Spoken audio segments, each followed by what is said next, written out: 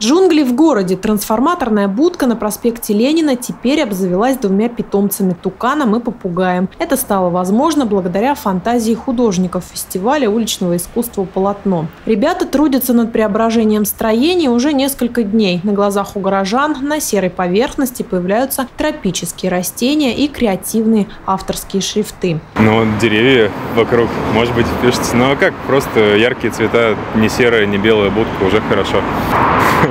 Говорят очень много. В основном говорят, рисуйте мне гараж за бесплатно. А, сказали, что у меня попугай похож на моржа. И некоторые говорят нормально, некоторые говорят, что нужно было рисовать картину Пикассо. Ну, очень наслушаешься тут многого, пока стоишь рисуешь.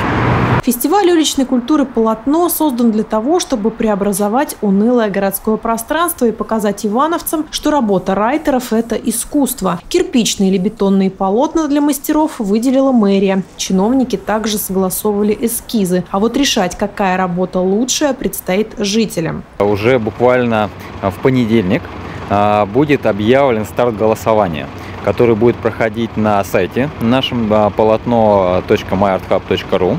А, там будет проходить голосование. В соцсетях мы об этом обо всем расскажем. А, будут выставлены порядка семи работ, которые наши ивановские и не только художники уже готовы. С понедельника начиная, с 4 часов, можно будет отдать свой голос за понравившуюся работу.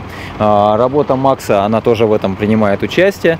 Соответственно, победитель получит денежный приз. К работе на здании Центра современного искусства приступила известный в стране и даже мире художник Макс 13. Обещает, что через пять дней мы увидим его классические абстрактные портреты и небольшие эксперименты с цветом и композицией. Заманить на фестиваль такого сильного художника организаторам удалось довольно легко. Максим рассказывает, что давно хотел подарить городу большую граффити-работу. И тут такая возможность представилась. Сначала разрабатывается эскиз, потом переносится на стену и ну, совершенно там разными способами это можно перенести, ну, либо просто рисовать, либо э, через проектор, как, как угодно. И, в принципе, дальше все рисуется техническая сторона. Это классические цвета, которые я использую в своем рисовании от э, мрачных, плотных, э, каких-то темных тонов до флуоресцентных, очень ярких оттенков.